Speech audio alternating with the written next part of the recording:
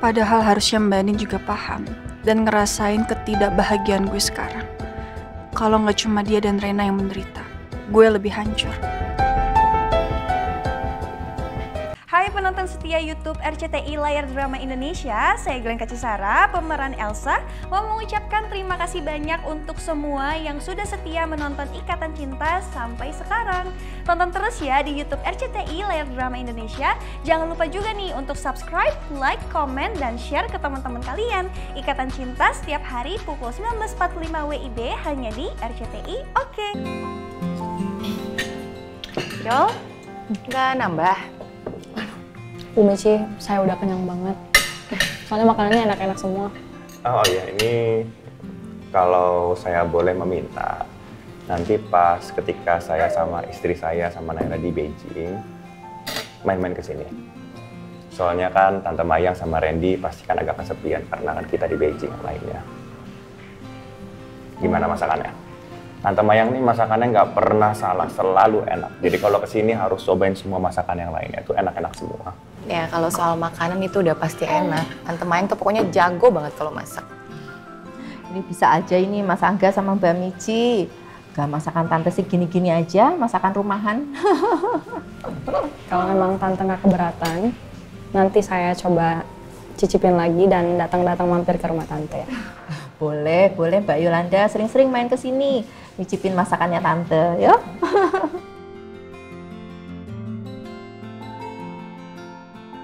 Ya, masakan Emma enak ya? Yuk habisin ayam. Eh, maaf semuanya, udah malam kalau begitu saya permisi ya. Saya pamit pulang. Jadi kok buru-buru banget? Iya soalnya nggak enak, udah malam.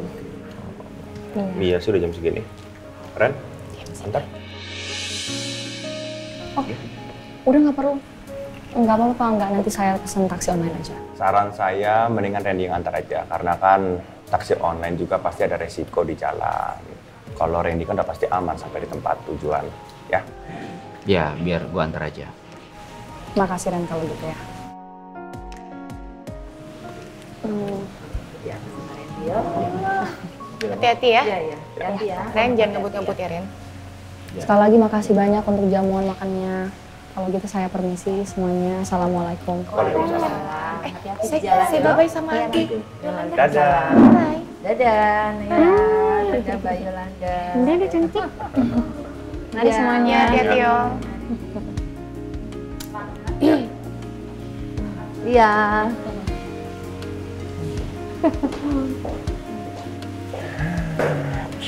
Yolanda itu ya, pas kita melihat di rumah sakit itu kayaknya kaku banget orangnya agak dingin tapi ternyata kan asik juga terus pas sama Naira juga kan cepet banget akrabnya buat main nggak nyangka sih Iya, tadi aku juga sempat bilang sih sama Tante Mayang ya, kita ngobrol di dapur.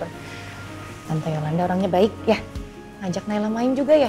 Ya memang Mbak Yolanda itu anaknya baik juga. Tapi biar waktu yang menjawab aja.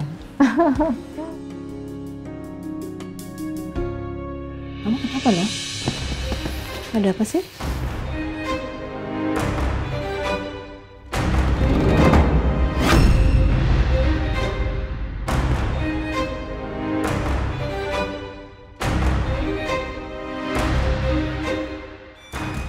Ini berkas-berkas dokumen pernikahan aku yang aku butuhkan untuk menceraikan Elsa. Kenapa harus bohong, Ma? Kenapa harus bohong? Mama bilang dokumen ini hilang.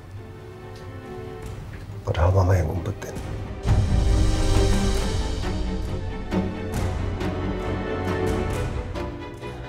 No, sebenarnya mama mama melakukan ini karena mama nggak mau kalau kalian bercerai, no.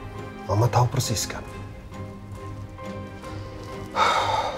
Aku nggak bisa hidup lagi dengan Elsa. Ya, tapi no, maksud mama perceraian itu kan bukan hal yang baik, no. Itu maksud mama.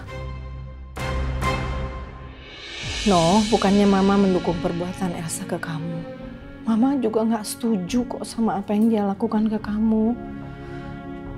Tapi setelah papa meninggal, mama sadar kalau selama ini papa sangat berperan di hidup mama.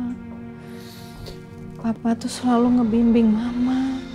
Jadi maksud mama, kamu sebagai kepala rumah tangga, kamu harusnya bisa lebih membimbing Elsa, no.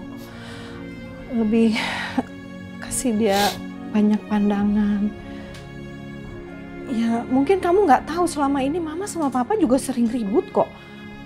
Tapi papa nggak pernah ngambil jalan pintas untuk bercerai, berpisah, enggak. Ya kan? Dengan semua yang sudah Elsa lakukan ke aku, Ma. Mama masih mau membandingkan diri Mama dengan Elsa, Ma. Tapi Mama tahu persis semua kebohongan yang Elsa lakukan. Sejak aku menikah dengan Andin, aku dimanipulasi, aku menikah dengan dia, semua kebohongan.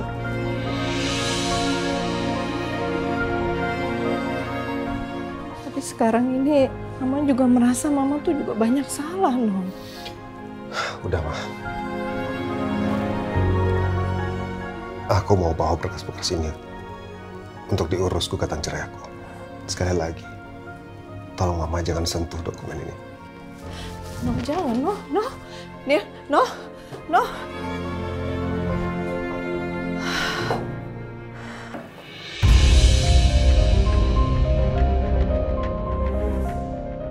Aku udah rapi. Aku ikut ya. Pak, please Pak. Aku mau minta maaf sama Mbak Andin. Cuma sebentar aja kok. Boleh ya? Maaf please, Ma.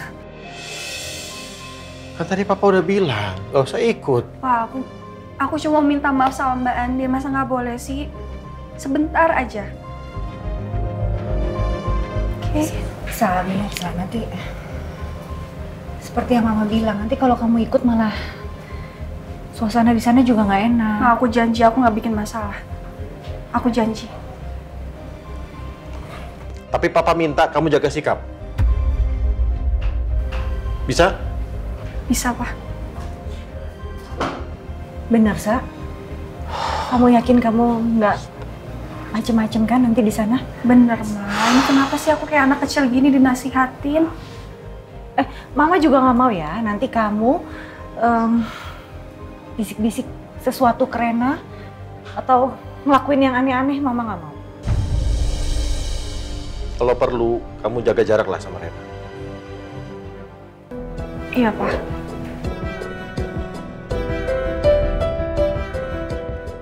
Padahal harusnya Mbak Andin juga paham dan ngerasain ketidakbahagiaan gue sekarang.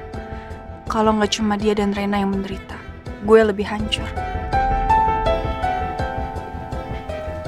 Kamu lagi mikir apa, Sa?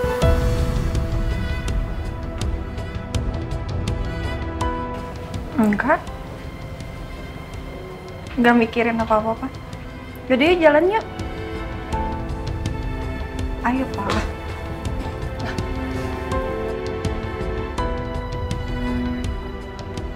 Momen kok dilewatin.